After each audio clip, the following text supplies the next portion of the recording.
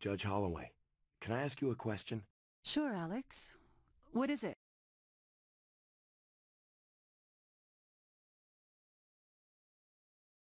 The town seems empty. All the stores are closed or boarded up. What's going on? It's complicated, Alex. A lot of things have happened since you left. I really think you ought to just go home.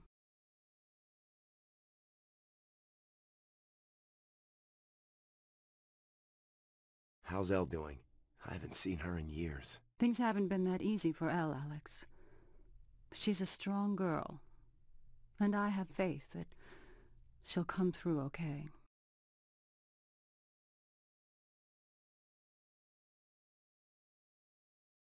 Does she ever ask about me? I thought you two were just friends, Alex. We are. Were. I was just wondering. Yes, Alex, she does. I think she's missed you a lot.